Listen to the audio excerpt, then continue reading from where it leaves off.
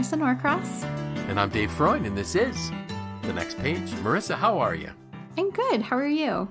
I'm terrific. Oh, wow. I'm really terrific. Good. That's great. So my and you know this, but our but our listeners don't unless they follow me on Instagram. But so my attitude that I chose for today was engage. Mm-hmm Because I decided that I wasn't fully engaged in everything that I was doing. So my my attitude was that I really want to be engaged in every aspect of my day.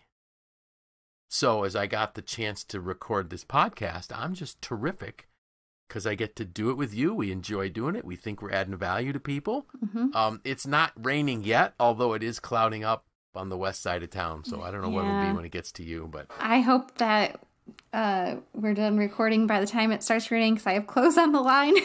oh, so we better get. we better we better get going. But I'm excited because I was able to put clothes on the line today. So that's like That's a big good. Well, win. you If you leave them out overnight, they'll probably be frozen by morning. oh, perfect. Yeah, I did see that there's a freeze warning, but Isn't that wonderful? it, you know, I I enjoyed. I really take advantage of the days that, uh, even today, you know, it's not like it was super warm. What fifty five, and um, sunny. This earlier today was sunny. It's It like, was. all right, get outside. Like, hurry up. You don't know when you're going to see the sun again. So Exactly. really taking We, but we kn- advantage. we know it's there. Mhm. It's we just don't see it. It's been coming and I out for sunsets every single night. I don't know if you've noticed. It'll be like have- cloudy all, noticed. all day long. And then Yep. the second, you know, I got to start putting the kids to bed or do bath time, it's like, oh, here comes the most beautiful sunshine and sunset. Right. Well, and and I don't think our listeners do it, but you and I pretty much every morning I'm doing it and occasionally you do it. Mhm. We watch the sunrise from Jupiter, Florida. yes. Sometimes I have to watch the um, encore. Delayed version? It's on a tape delay. yeah, I'm going to watch, you know, it's getting earlier and earlier, but it's, it is so beautiful. It was beautiful this Oh. morning. It really was. hmm So, just for our listeners, one of my my mentors, uh, Paul Martinelli, with the John Maxwell team, and also has a business called Empowerment Living. He literally live streams in real time from his balcony in Jupiter, Florida, the sunrise over the Atlantic, and it is Mhm. wow. It's really cool, hmm and we get several hundred people all at once Oh, yeah. to watch it, and then you get all of us that are sharing it on Facebook. Um, Mhm. so who knows how many thousands of people are watching it? But and you know, so you have to do that because if you don't find things like that to do, you're just going to get bitter. Right. And so our goal, or my writing this morning, was better or bitter. So Mhm. our listeners will know that last week um, I was talking about the things that I learned, and then I got to the end, and I kind of whined a little bit. And and really, the the fourth item on my post last week, thankfully, you didn't even see the original copy of it because it was a bunch of whining and complaining because I was bitter. I was I was angry. I was upset with people that I thought found ways to have it easier, if I can call it that. You know, I'm like Mhm. there's all the, all these people were talking about, "Oh, you know, so much so nice, you know, that we're home and and we have all this extra time." And I'm like, "What time?"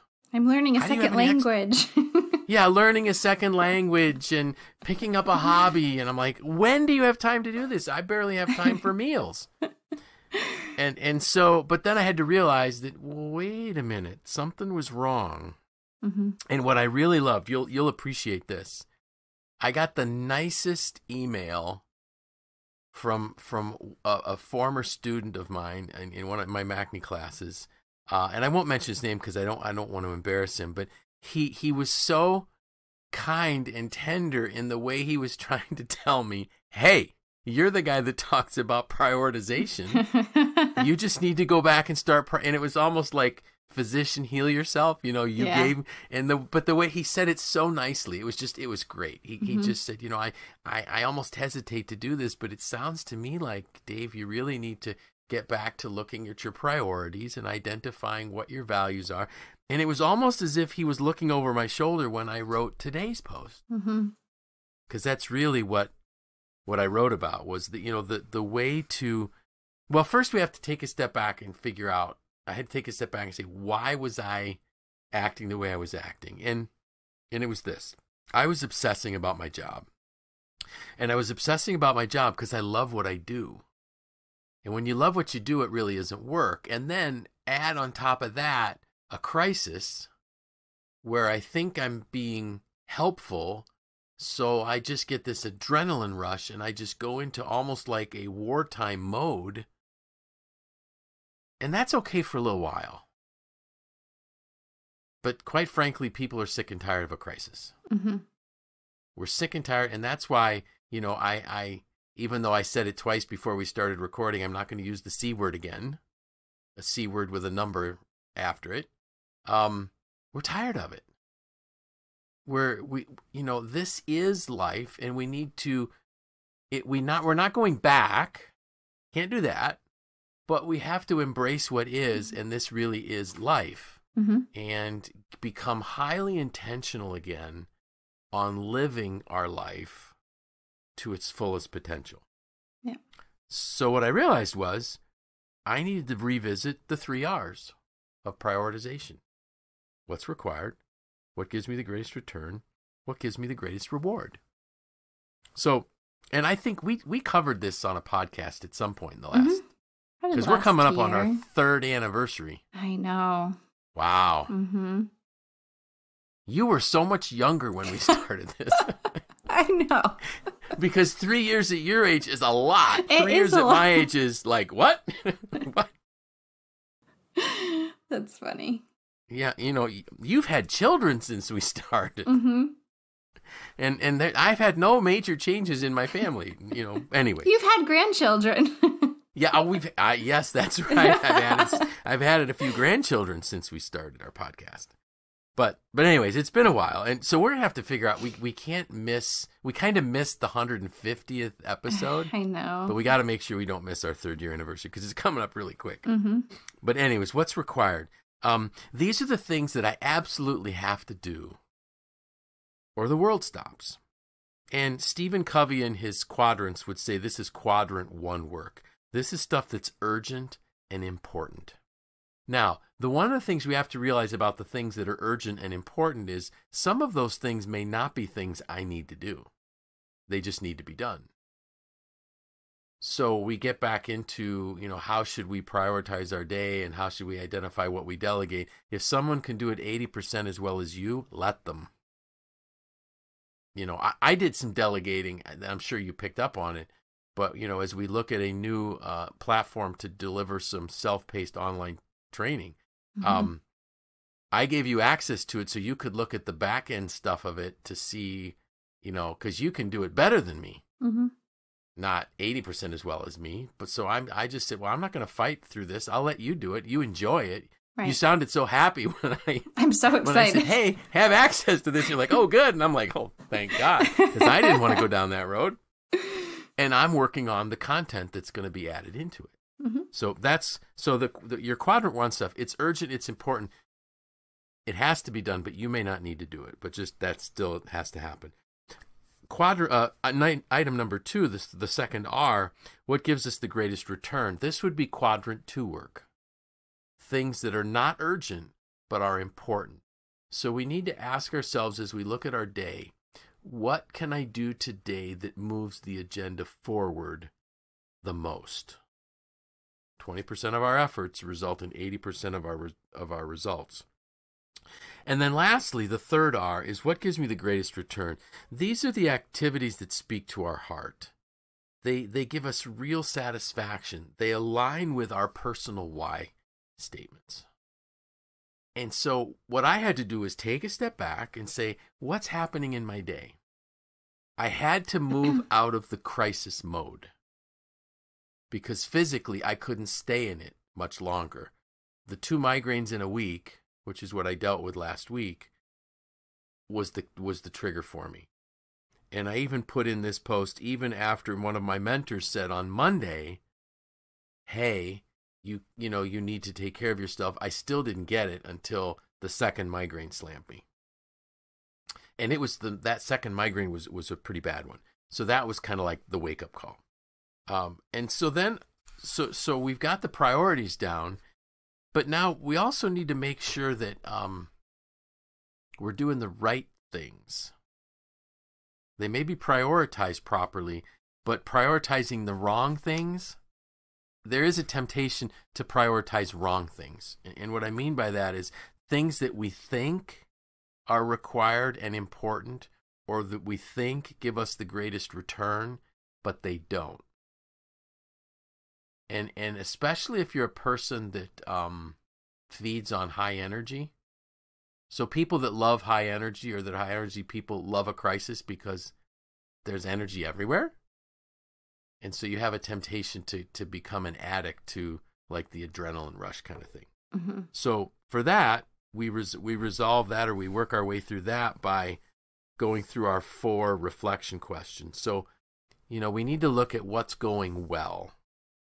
And and one of the things that I asked you before we started recording, you know, are there things new things we're doing that you're doing that that you want to keep doing? Mm-hmm. And and so for me, um one of the things that's new that I'm doing that I'm going to keep doing is I think even once we're allowed to go back into the office, I'm probably not going to go in every day because it's working very well for me to work from home. I can get a ton of content done because there's nobody knocking at the door or saying, "Hey, do you have a minute? I have a question."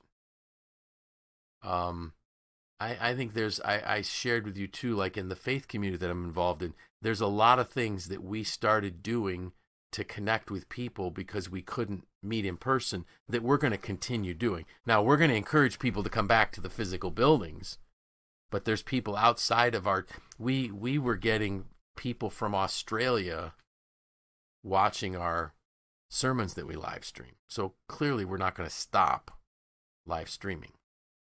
So they're the good things. So what's going well? And these things we not only want to keep doing, but we want to try to expand them in some way.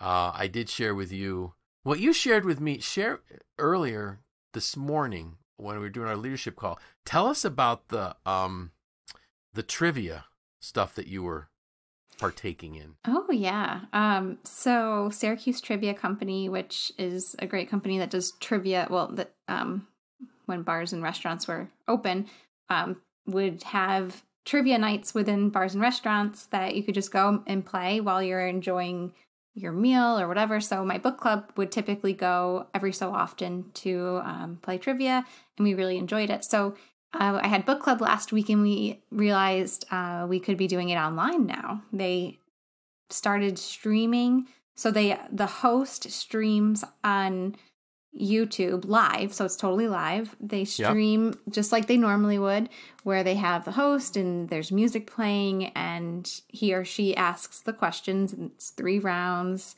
and um, on Wednesday nights there's a theme. So we joined, we gathered on Zoom, one, mm-hmm. and then the one person screen shared YouTube, so we could all see the question, and then there's an answer sheet that one person manages that's through um I think it's a like a Google Doc. So you, okay. That, and it works just like regular like regular Syracuse trivia. You uh, have the three rounds. You input your answers, and they're scoring, and they they keep score of the teams, and it's really fun. That's great. Yeah, and, you know, and I can actually see that there may be a use for that even when the bars and the restaurants open again. Mm-hmm. And they're doing private events, which they've always done private events before. Like my my daughter's school did a fundraiser trivia night, um, and they're doing digital private events too. That's awesome. So employers are using it as a way to uh, keep their staff engaged, kind of in a fun way. Yep. Um, yeah, and they're it's. I really enjoyed it. I'm looking forward to doing it again on Friday. Like I think Derek and I just might do it after putting the girls to bed and Sure. It's like a general trivia night. So last night's theme yep. wasn't my best topic area, but um, yeah, I mean it's it's fun. That's great. That that's just awesome. You know, and I had mentioned to you that um, and our listeners know that that every year I look forward to our our antique boat show in Skaneateles. And mm-hmm. last year my boat had issues, so the boat couldn't be there. And this year, of course, we have to cancel the boat show. Mm-hmm. So we're going to do a virtual boat show. And I remember even when I mentioned it to, to my son Mike, he goes, How does that work? Well, what we're going to do is the people that typically would have come to the boat show with their boat, we're going to be asking them to send in a video of them giving a narration about their boat, you know, pictures about their boat, very short, like a mm-hmm. minute, two minutes type of thing. And then we're going to have different events. Um, and we're going to use the, the chapter's Facebook page. And starting on Monday, the 20th of July, which would be the, the week leading up to the boat show, um, we're gonna there are gonna be things released on that posted on that Facebook page throughout the day, mm-hmm. and we're gonna we're gonna open up with there's a gentleman uh, who's always been the voice of our boat show.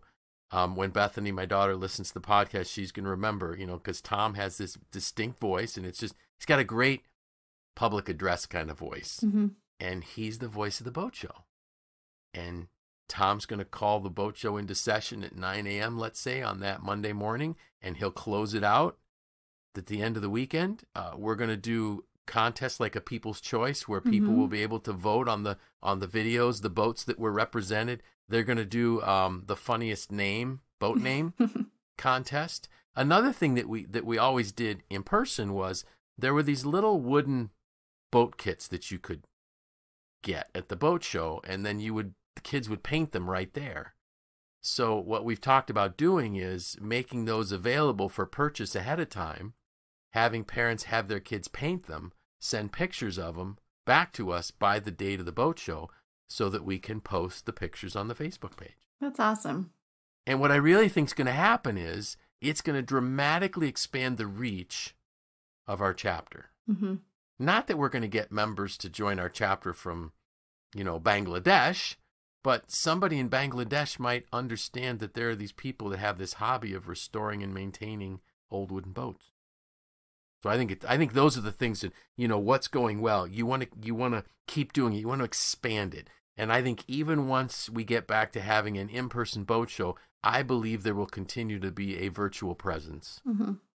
online, which is going to be helpful for people that can't get there. Perhaps um, another thing I see for like my parents, um, not just our churches live streaming our sermons, but almost all the churches in our denomination are. And my parents are attending churches, you know, they, they like four or five church services a week because mm-hmm. they're there. They're also saved for, you know, to pull down whenever you can. Mm-hmm. And I just think that's great stuff. So you want to keep, you want to build on, on what we're, what's going well. What isn't going well, you got to stop. And things that are tired and worn out, stop you know, you and I've talked about the things that, well, I haven't used the C word followed by a number because I'm tired of it. Let's move on. Mm-hmm. Um, things that we were doing that maybe they worked for a time, but they've stopped. Don't go back. Find something else. Don't wait. Don't waste your time with things that didn't work. What did you learn? Identify new things that you've experienced and learned. Write them down so you don't forget them. I think journaling in a time like this is critical. I you know, people know that I think journaling is is really important all the time, but especially when we're in times of change and shifting of of norms, journaling helps us capture the things that are the most important for us. And then identify the last one. What will I change? So let me go through the four again. What's going well? What isn't going well? What did I learn? And then what will I change? start the path today for a richer tomorrow. And and one of the things that I had to do, and and I know you did it too. So today, I left my house at 9 a.m. and I went for a walk. Mm-hmm. There was a window in my day. And what I did, I started this already yesterday. I've committed to going outside twice a day. Because, you know, if you're working from home, you never leave the house. Right, right. It's great for my car Although, you know, I actually saw gasoline at Delta Sonic that was a dollar forty nine a gallon. No way. Yes, that's with their discount, with the membership discount thing. Wow. And I think Tim said to me, my son Tim said to me, Dad, I've never seen gas that cheap in my lifetime. But I, maybe it was just a special. But so so what? I'm not going anywhere. I just literally drove there to get my car wash because the car wash had opened, and I I uh, filled up my gas tank, and so now it's sitting next to my house. But anyways, so I go outside. Mm-hmm. And I know you did this morning as well. Took the opportunity, go Mhm. outside. So that was something that I said, I have to do that. Um, so again, just making time for for um, a quick walk, just to get out and breathe. Um, is there anything that you decided you were going to do different? Yeah. So Because you and I were in the same boat last week. last we were both week, like we yeah, whining and crying in our beers a bit. and I think it was after. It was the same day that we recorded. I, or you know, no, I think it was the day before we recorded. Um, I had my book club, and I was. It, we went around and we all talked about. We didn't all read the same book because we couldn't get them from the library because the library is closed. So it was kind of just like a, hey, what are you reading? Let's keep a list for future books. And when it got to be my turn, I thought really hard. You know, what have I completed reading? Like I've started a few things, Mhm. audio on my Kindle, whatever. And uh, my answer was really sad. I said, I have read my emails. Mm. That's And depressing. It was, and they were like, "What?" Wow. And a, like a lot of time, I mean, there are months where I'm like, I've read the book club book, I read this book, I listened to this book, Mhm. you know, like multiple books a month, and it was one of the girls, and it, we're a very close group of people. We've been meeting for almost four years. Um, she said, "It does seem like you're working all the time." Because Yep. you know we text a lot and we have like group texts going on. We meet periodically for trivia or whatever. We talk about our kids things like that. And i said yeah you know what? I think um i've like lost sight of some of the things that i used to do to take care of myself. So right. between the conversation that i had in my book club the conversation you and i had last week i was like okay um things have to change and i need to prioritize myself more yes. and so I've been trying to do that. And I noticed a, difference like almost immediately, like within a couple of days. And just realizing that there's a, a lot we can't change right now. Um, Right. But but there is still so much that we can change. And Exactly. and even if it's like I the the food you're buying at the grocery store, like you can change Mhm. that. If you're feeling like, oh, uh, I'm I'm eating junk all the time, change what you buy at the grocery store. Right. Um, or I'm just inside all the time. Like you said, go outside two two Go times outside. a week. Um, but like put that time on your calendar, or Yeah. or just say I'm in first thing I do every morning is I have a, a grounding practice. You know, you can go walk out your door and, and do that. Uh, There's there's just so much that is within our control. I think like I'm doing more laundry now just because it's like, you know, I was feeling bogged down by spending my weekends like Mhm. doing the laundry because I'd kind of fallen off Yeah. my my laundry every day thing as a result of my increased workload. Right. And I was like, that doesn't have to be that way. Right. I can change that relatively simply and feel a lot lighter by the time the weekend Yep. comes around. So Exactly. if we it's maybe a little bit challenging on the fly to think that there are things that we can change and control right now, but there's a lot we can we can do to take care of ourselves and Right. um meditation is free or you can Yep. get a very inexpensive calm app and do it that um mind you know mindfulness is is free it doesn't need to happen outside your home um, Right. it, you know there's a lot we can do if we just get a little creative uh, and Sure. think about what what's possible and that's kind of where where I'm I'm spending my time right now. Like my free time is like I think I shared last week my list uh, or that I created a list of like things Mhm. that make me feel my best. And so I think revisiting that list, adding to that list and actually like doing it. Today I for example, I wanted to so my daughter woke up about 2 hours earlier than normal. And because of trivia night last night, I was up a little bit later. So I was like very tired when I when she woke me up and I so badly just wanted to drink my espresso. But I was like, no, like I know that I will feel better all day long if I just drink my water first, which is something I shared that was on my my list, Right. which is so simple and people are probably like, "Oh, this girl and her water."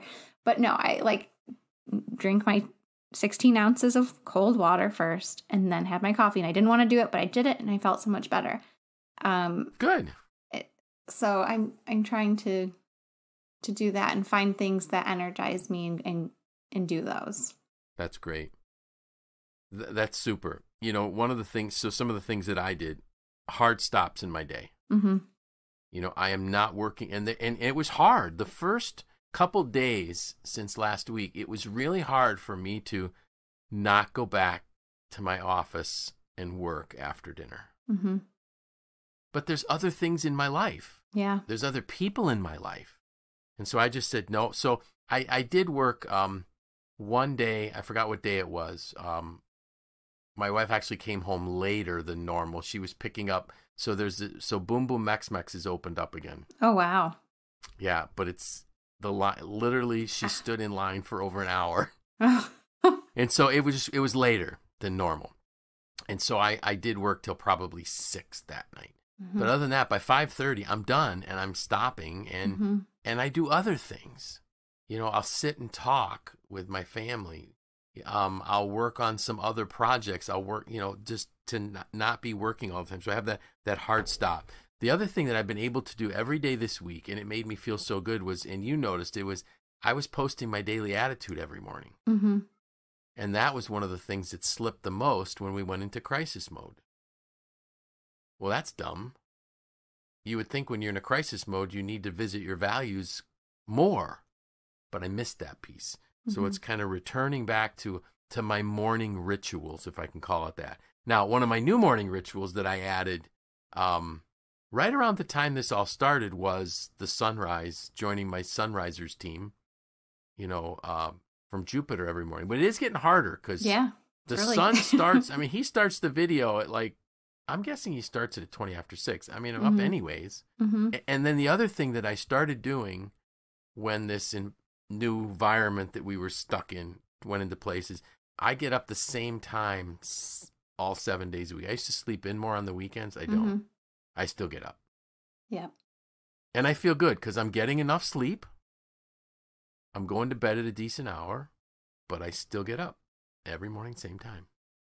That's something that I wasn't doing. So, Mhm. you know, the things that are working, do more of. The things that aren't working, stop. But make sure you return to your values and you work your plan. Prioritize your day, work your plan. And when I say prioritize, and I think in my post I said you prioritize your life, Right. not work.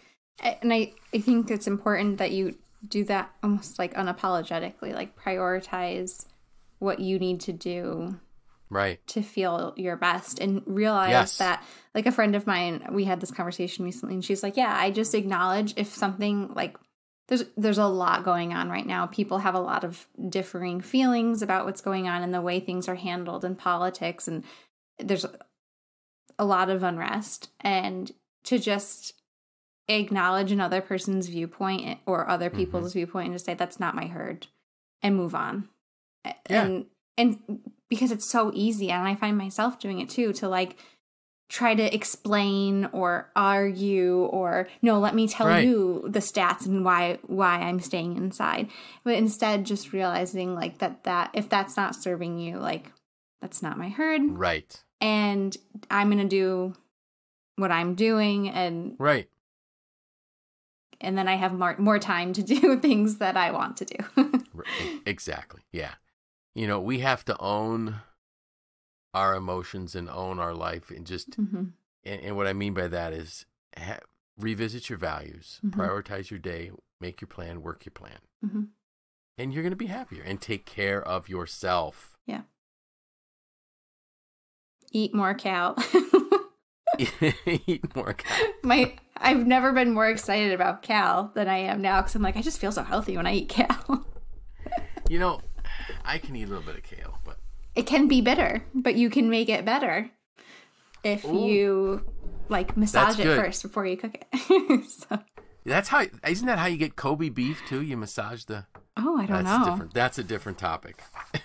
No idea, but the cal, I, it's funny because that, that is typically bitter, but we, Okay. we there actually is land a that there. kale salad that that my wife makes from time to time that is really good. Mm-hmm. So, Hey, do you have any special plans for the weekend? Uh, of course, Mo- it actually is Mother's Day. Looking Even though forward this to will some come out snow. after Mother's Day. yeah, we're going skiing right now. Going skiing in my backyard for Mother's Day. Uh, Skating on the pool. yeah, skating on the pool. You know, it's no, I nothing, nothing remarkable. Okay. Yeah, I mean, there's nothing super remarkable in in our. We're gonna make the best Mother's Day weekend we can out of this. hmm So, all right, and I have no idea what we're writing about and talking about next week, but it'll come to me at some point. I'm sure. So, with that, I'm Dave Freund, I'm Marisa Norcross. and this was the next page.